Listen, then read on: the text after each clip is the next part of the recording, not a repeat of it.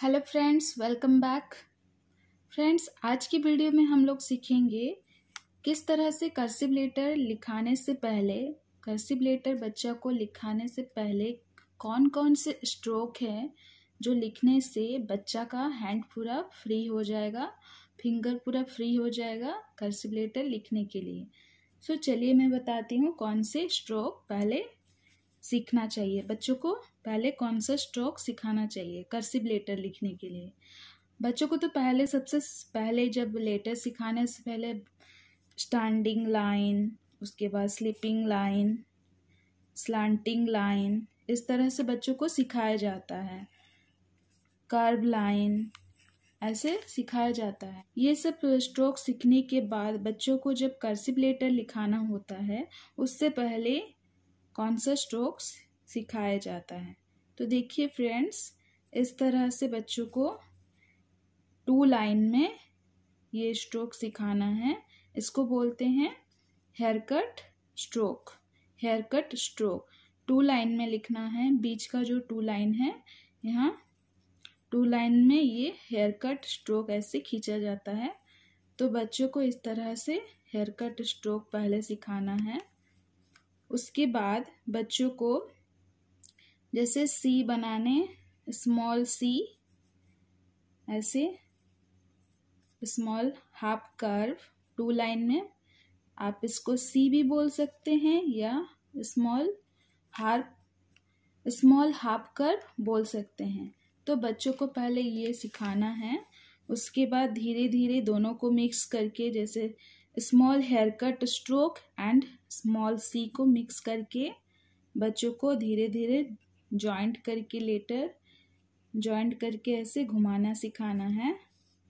करसिप सी बच्चों को ऐसे बोलना है इसको करसिप सी बोल बोल के लिखो। तो बच्चों को इस तरह पहले धीरे धीरे हाथ पकड़ के आप उसका, बच्चा का हेल्प करके, बच्चों का हेल्प करके आप ऐसे लिखा सकते हैं। फिर बच्चा धीरे धीरे खुद से लिखना सीख जाएगा। तो बच्चा को ये जो hair cut stroke small hair cut stroke and ये जो हाफ़ सी है, इसको बहुत ज़्यादा प्रैक्टिस करवाना है। उसके बाद ये जो करसिप सी है, उसको बहुत ज़्यादा प्रैक्टिस करवाना है। बच्चा जितना ज़्यादा प्रैक्टिस करेगा, उतना उसका हैंड फ्री होगा और वो कर्सिप लेटर खुद से लिख पाएगा। तो कर्सिप सी लिखाने के बाद उसको कर्सिप ए लिखाना है। ऐसे करके इसको बच्चा को पहले हाथ पकड़ के थोड़ा उसको बताना है। अगर बच्चा खुद से अपना दिमाग यूज़ करके लिख सकता है तो लिख लेगा, लेकिन अगर नहीं लिख पा रहा है बच्चा तो बच्चा को थोड़ा हाथ पकड़ के ऐसे लिखाना है। इस तरह से कर्सिव ए लिखाना है। बहुत ज़्यादा से ज़्यादा बच्चों को प्रैक्टिस करवाना है। इस तरह से लिखाना है। फिर उसके बाद कर्सिव ए के बाद बच्चों को कर्सिव सी लिखाना है। कर्सिव सी, उसके बाद फिर से कर्सिव सी लिखाना है।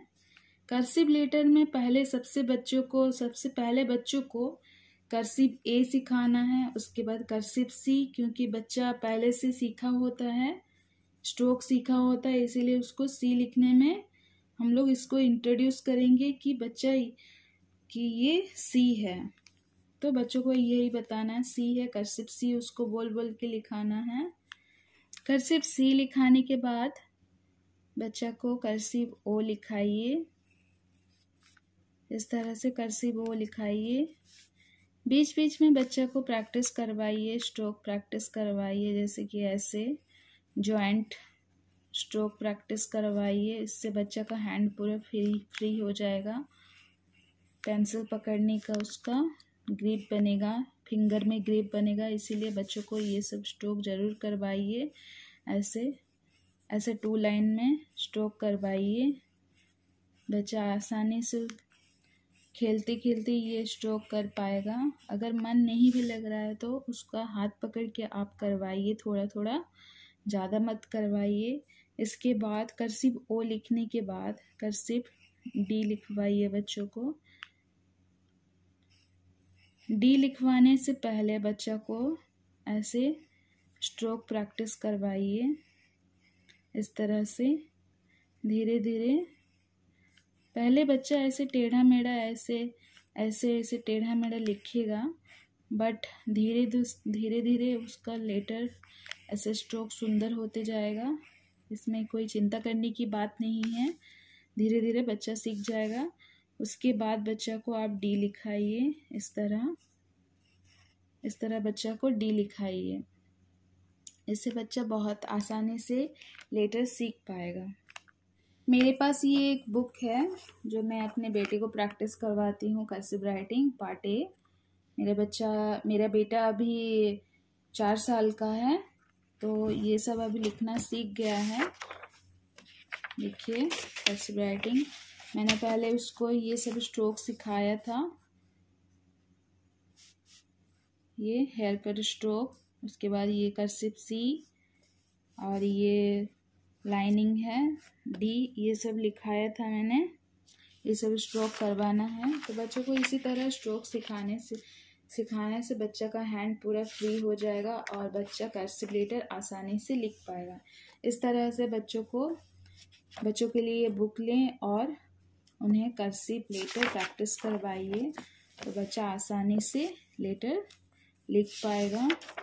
और कॉपी में भी लिखाइए फोर लाइन कॉपी में। इस तरह से लिखवाइए सो फ्रेंड्स आज का वीडियो कैसा लगा कमेंट करके बोलिएगा। और ये वीडियो बहुत ही हेल्पफुल है कर्सिव लेटर सीखने के लिए। तो ज़्यादा से ज़्यादा अपने फ्रेंड्स एंड रिलेटिव्स में शेयर कीजिए।